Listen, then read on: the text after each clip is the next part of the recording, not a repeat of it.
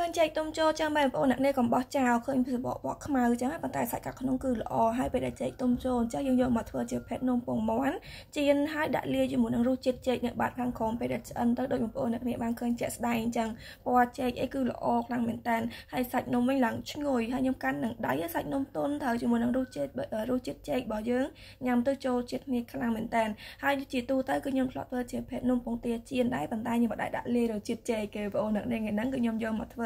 នំពងទាចៀននេះដាក់លាយជាមួយនឹងរសជាតិចេកគឺរសជាតិនេះប្លែកបងប្អូនអ្នកគ្នាចង់យកទៅដុតក៏បានឬក៏យកមកចៀនដូចខ្ញុំអញ្ចឹងក៏បានដែរចំណែកឯគ្រឿងផ្សំនេះវិញអត់មានអីច្រើនទេថ្ងៃហ្នឹងគឺខ្ញុំនៅសល់ចេកតែពីរហ្នឹងទេហើយឡើងសបកវាឡើងពណ៌ខ្មៅមកខ្ញុំថាចង់បកញ៉ាំប៉ុន្តែខ្ជិលចង់ធ្វើជាភេទនំពងទាចៀនអញ្ចឹងទៅគឺធ្វើបានច្រើនហើយបន្ទាប់ពីខ្ញុំបានរៀបចំចេកអញ្ចឹងហើយខ្ញុំបកសបកវាឲ្យស្អាតអញ្ចឹងទៅខ្ញុំចាប់ដើមកាត់ចេកហ្នឹងជាកណាត់ខ្លីៗឬក៏នេះបងប្អូននេះគឺយើងកាត់វាជាចំណិតស្ដើងស្ដើងល្មមពេលដែលយើងដាក់ចៀនទៅគឺឃើញសាច់ចេកហ្នឹងវាស្អិតល្មួតជាមួយនឹងសាច់ម្សៅហ្នឹងហ្មងហើយញ៉ាំទៅគឺឆ្ងាញ់អ្នកបងប្អូនដែលគាត់ធ្វើនំពងទាដែលដាក់លាយជាមួយនឹងរសជាតិចេកបងប្អូនអ្នកនេះសាកធ្វើបានតនេះថាប្លែកមករសជាតិនេះហើយទៅសាកតែខ្ញុំហ្នឹងមានចេកតែពីរទេបើសិនជាមានច្រើនណាដាក់ទៅគឺកាន់តែឆ្ងាញ់ហ្មងយើងដាក់លាយជាមួយនឹងសាច់ចេកលាយជាមួយនឹងម្សៅផងហើយយើងដាក់ធ្វាប់នៅខាងក្រោមចៀនអញ្ចឹងទៀត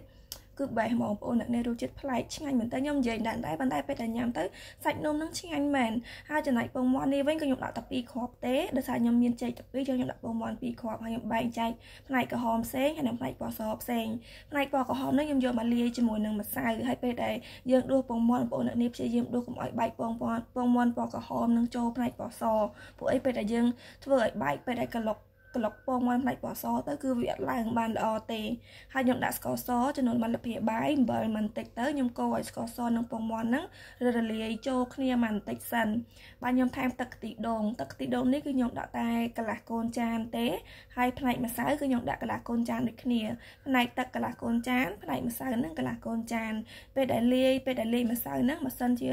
យើងលាយទៅឃើញម្សៅហ្នឹងរៀងខាប់ជ្រុលអីបងប្អូនអ្នកនេះអាចថែមទឹកខ្ទិះដូងបន្តិចទៀតបានចំពោះខ្ញុំនេះពេលដែលលាយទៅគឺมันល្មមសាច់ម្សៅហ្នឹងវាមិនខាប់ពេកហើយក៏មិនរាវខ្លាំងពេកដែរប៉ុណ្ណឹងរួចរាល់ហើយ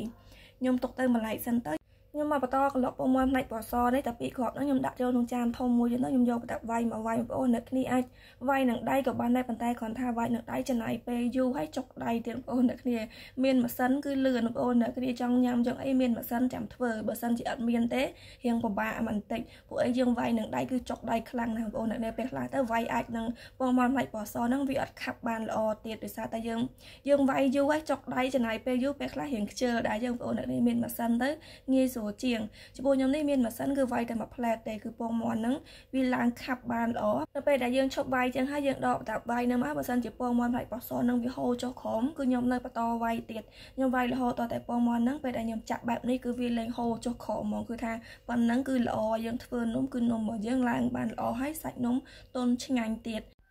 ចុងក្រោយកិននេះគឺអត់មានអីទៀតទេខ្ញុំចាប់ដើមចាក់ម្សៅលាយជាមួយនឹងខ្ទិះដូងនឹងចូលក្នុងពងមាន់ផ្លែកពណ៌សនឹងឲ្យអស់ទៅបើខ្ញុំថែមគ្រឿងផ្សំមួយមុខទៀតបងប្អូនអ្នកនេះគ្រឿងផ្សំហ្នឹងក៏សំខាន់ដែរបើសិនតែយើងអាចបានដាក់ទេគឺដឹងតែនំនឹងជាប់ហ្មងគឺប្រេងឆាបងប្អូនអ្នកនេះប្រើប្រេងឆាក៏បានប្រើប្រេងអូលីវប៊ឺអីក៏បានដែរដាក់ចូលក្នុងម្សៅហ្នឹងប្រហែលជា2លភាអញ្ចឹងទៅពេលដែលយើងដាក់ជាហ្នឹងគឺសាច់នំអត់ជាប់ខ្ទះទេ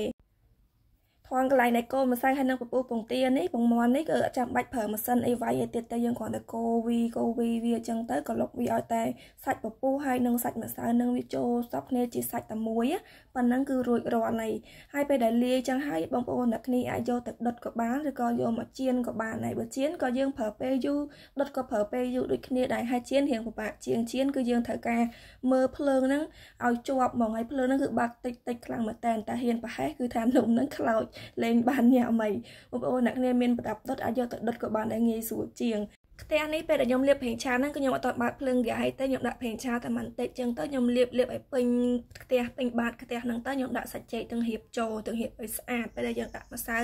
យើងជៀននំឆ្អិនទៅគឺឃើញចេកហ្នឹងវាទាំងរៀបជួរគ្នាបានស្អាតហើយចេកពេលដែលចេកទុំចូលចេះរសជាតិនំឆ្អិនទៅគឺផ្អែមឆ្ងាញ់ហើយឈ្ងុយទៀតបន្ទាប់ពីខ្ញុំបានរៀបចឹងហើយខ្ញុំដាក់សាច់ម្សៅដែលខ្ញុំបានលាយជាមួយនឹងពងមាន់ផ្នែកបសហ្នឹងយើងចាក់ម្ដងតិចម្ដងតិចចឹងទៅដើម្បីថ្នមថ្នមដៃដែរពេលដែលចាក់ហ្នឹងកុំឲ្យចេកហ្នឹងវាបែកចេញពីជួរមើលទៅវាអត់សូវស្អាតហើយខ្ញុំម្សៅទាំងអស់ហ្នឹងគឺខ្ញុំដាក់ចៀនទៅទាំងអស់គឺខ្ញុំអត់មានទុកអីទេខ្ញុំធ្វើនំតែមួយទេហើយខ្ញុំក្របប្រហែលជា5នាទីទៅ10នាទីខ្ញុំបើកភ្លើងតិចខ្លាំងមែនតើហើយខ្ញុំអាសាបើកមើលដែរពេលដែលនំហ្នឹងវាយ៉ាងក្រៀមរៀងរៀងក្រហមខាងក្រោមក្រៀមហើយខ្ញុំចាប់ដើមប្រែ ចំណុចពិសេសមួយទៀតដើម្បីកុំឲ្យនំនឹងបាយបងប្អូនអ្នកគ្នាយើងផ្ងប់នៅលើភ្លើងអញ្ចឹងទៅមើលតនំនឹងវាឡើងពណ៌ក្រហមហើយយកចានមកគ្របនៅខាងលើដើម្បីពេលដែលយើងផែកុំឲ្យសាច់នំនឹងវាបែកចេញពីគ្នាស្អាតហើយខ្ញុំផែត្រឡប់វាអញ្ចឹងទៅខ្ញុំគ្របប្រហែលជា5នាទីទៅ10នាទីអីគឺខ្ញុំចាប់ដើមត្រឡប់វាមើលម្ដងហើយហើយភ្លើងដូចខ្ញុំបានបញ្ជាក់អញ្ចឹងបងប្អូនអ្នកនាងព្យាយាមបើកភ្លើងតិចតិចខ្លាំងមែនតើ